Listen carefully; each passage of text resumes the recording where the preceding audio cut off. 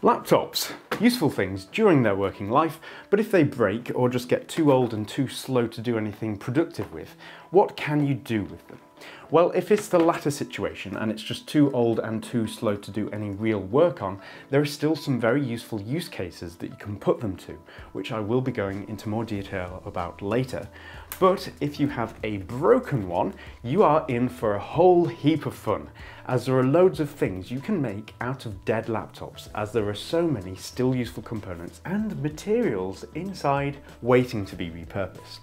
So, let's get creative.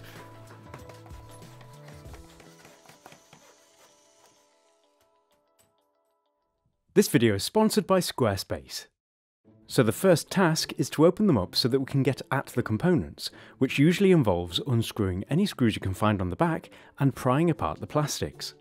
This process needs to be continued as you carefully separate all of the internals, after which we're ready to start repurposing them. As you can see, there are quite a few of them, most of which can be put to some kind of use. The first component I want to focus on though are the speakers.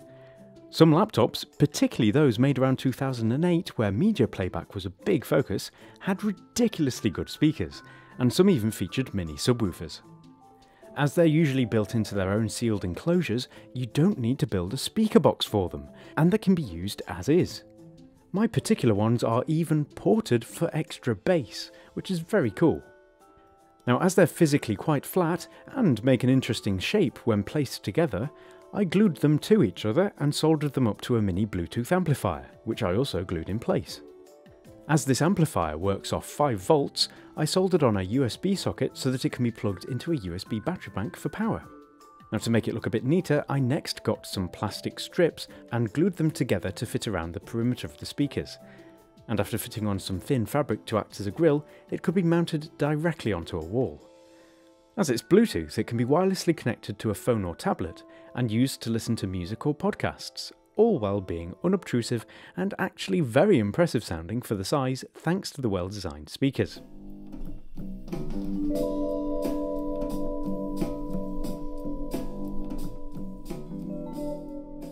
Not bad. Moving on to the next project, I want to focus in on the cooling system. In laptops, these take heat away from particularly hot running ICs by utilising heat pipes, which move the heat over to a set of fins which then transfer the heat into the air that's forced through them by an accompanying fan. As they can handle quite a lot of heat output, they're actually perfect for reusing to cool high power LEDs. Small LEDs like this have various power level options, and as mine actually use 10 watts of power each, they would burn up very quickly if powered up on their own. But once mounted onto the heat plates with some thermally conductive glue, and with the fan wired to spin up, they can be powered indefinitely thanks to the high level of cooling. If you end up doing this yourself, don't forget to use an appropriate LED driver circuit though, or you could still fry the LED with too much current. I attached mine to a curved piece of aluminium to make a stand, and it turned out to look pretty cool, thanks to the different materials and a visible cooling system. This makes for a fantastic light to use while working, but it could also make a great desk lamp too, particularly if you're interested in computers and want a lamp made out of recycled parts. Now, while we're on the topic of lighting, laptop screens in particular are worth salvaging even if they're smashed like this one. This is because when the LCD layer is removed, you're left with a variety of potentially useful diffusion sheets, Fresnel lenses, and an acrylic back panel. These work together to spread out the backlight evenly, and to take advantage of them as is, you can leave them inside the screen casing and wire up the PCB on the back to trigger the screen's built-in backlight. This leaves you with a soft diffused light source that you can then put to a variety of uses. For example, you could use it as a tracing backlight, or mount it onto the wall to be a fake window. You could even print your favourite pictures onto thin paper and have them now backlit for some striking wall art. Pretty neat. For help wiring these up to work like this, I do have a separate dedicated video on the topic, which you can find a link to in the description. Now if none of these strike your interest, you can take the various layers out and make use of them with LED strips. As these have adhesive on the back and can be cut to any length, one idea is to stick a short length to one side of a diffusion sheet from the screen. Adding some double-sided tape opposite this allows the sheet to be looped around to create a cylinder, which, once mounted onto a wall, diffuses the light emitted from the LED strip so that it significantly reduces the glare from it, and turns it into a pretty slick wall light. Even better though is using the Fresnel lenses instead for this. As the lenses bend the light and cause quite interesting distortions, they, when wrapped around the LEDs, make a really nice sparkly rainbow effect that changes depending on what angle you look at it from.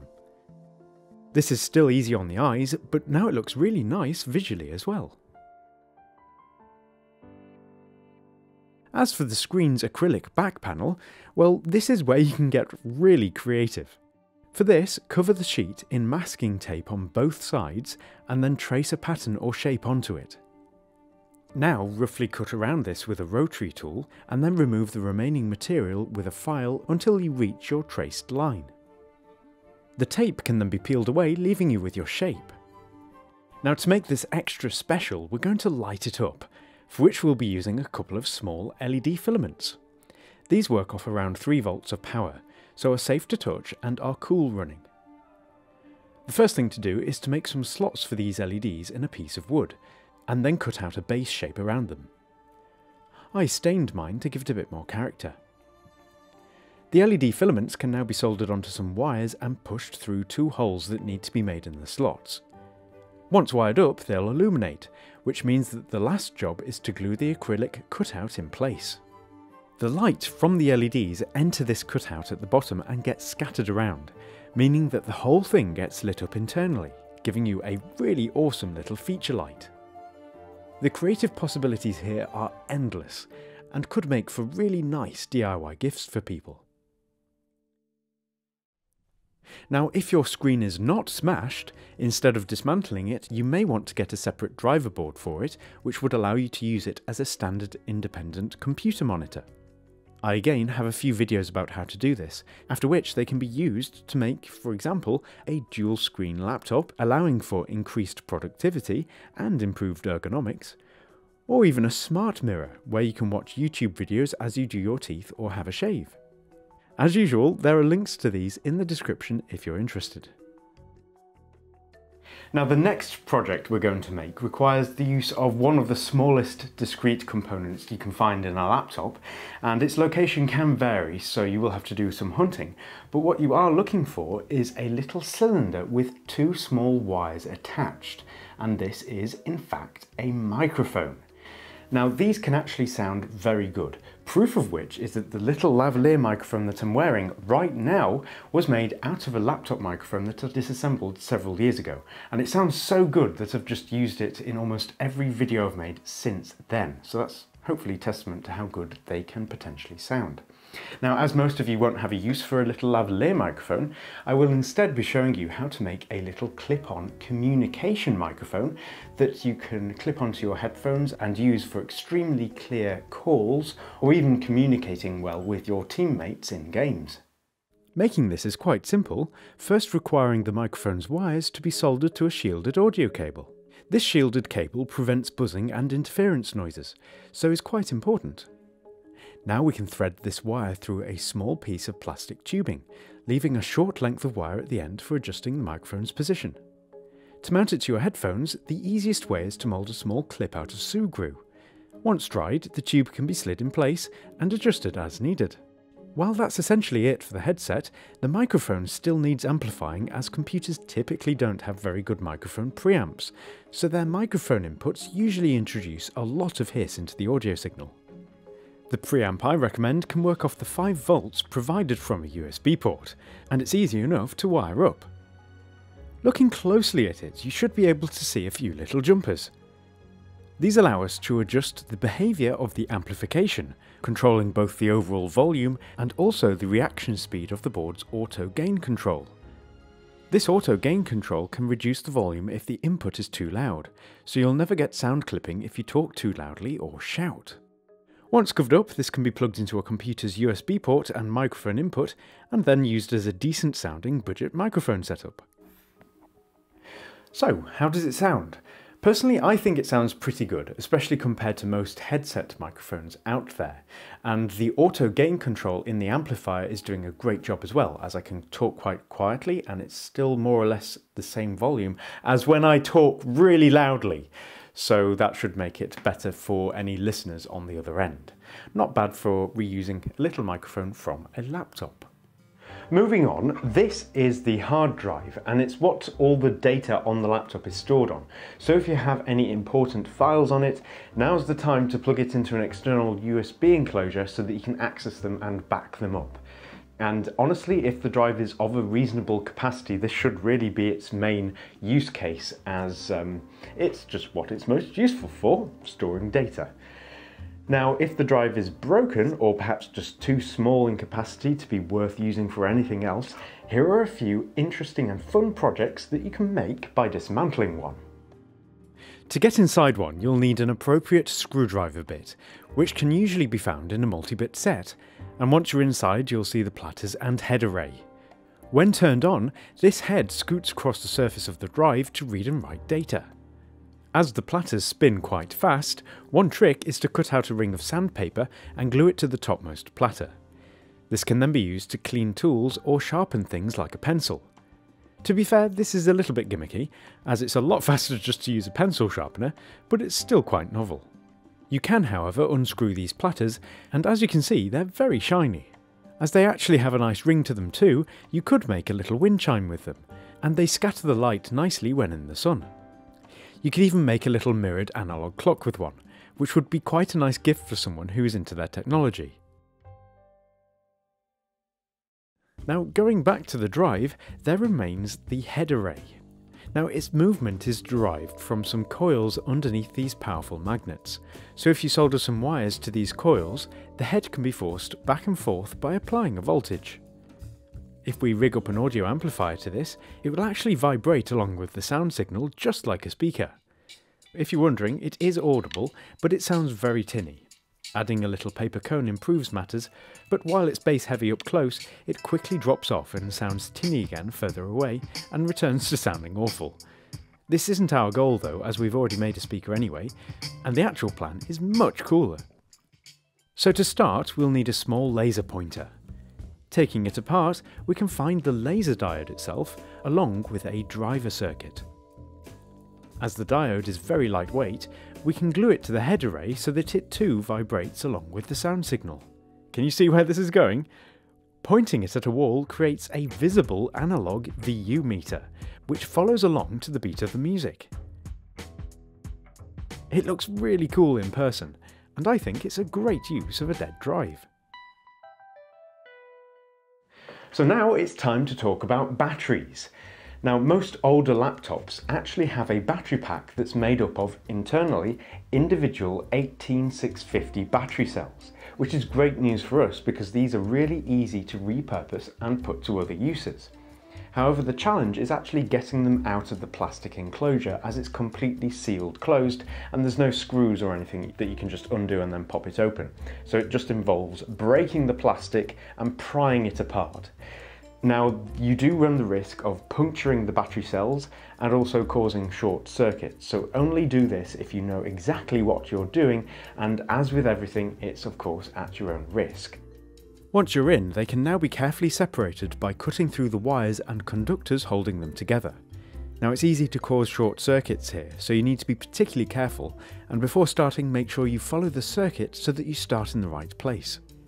With the cells now separated, they each need to be checked to make sure that their voltages are 2.8 volts or above. Lithium cells degrade and become unstable if they drop below this voltage, so never use a battery that's below 2.8 volts. As mine were all safely above this value, they're good to reuse.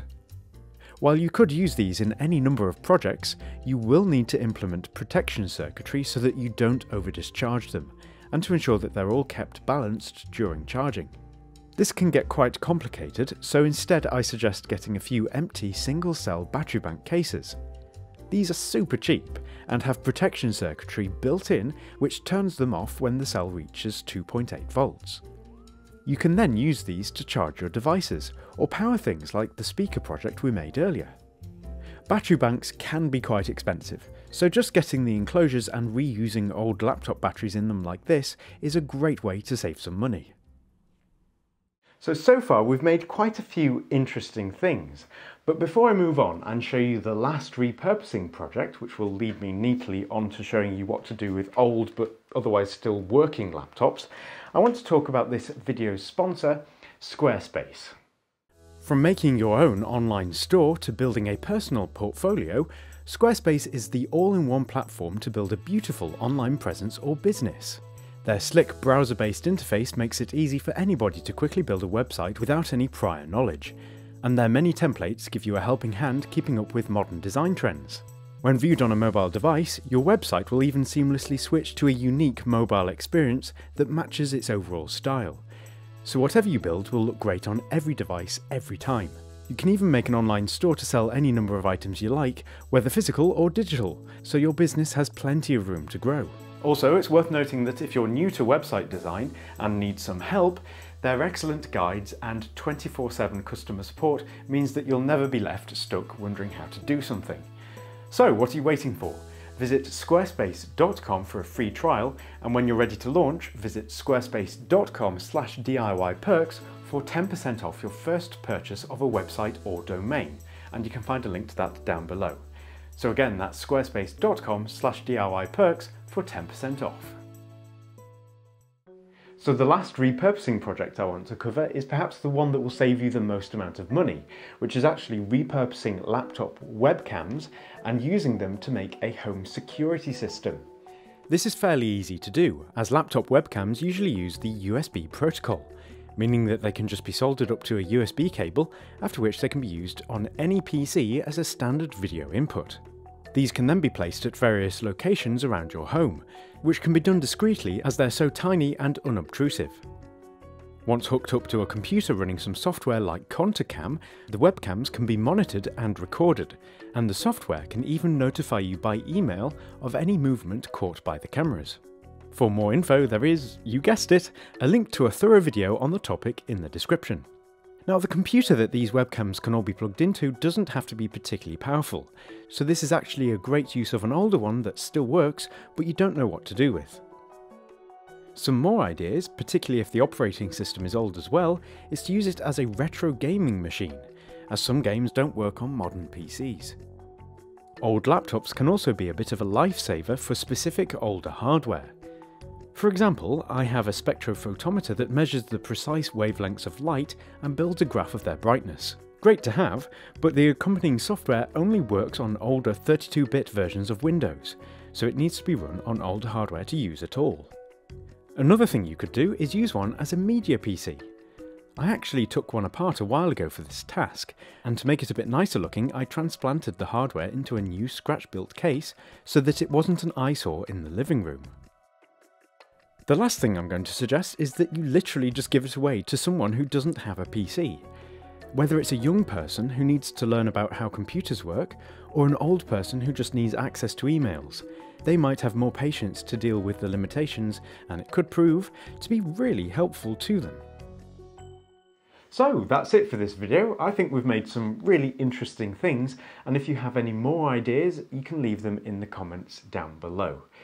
Now, if you want to support my work, you can do so by visiting patreon.com slash DIYperks, and many thanks if you decide to support me on there. Um, but other than that, you can always just consider pressing like and maybe consider subscribing as well. Um, but as for this video, it's over, so I shall go now. I hope to see you next time. Goodbye for now.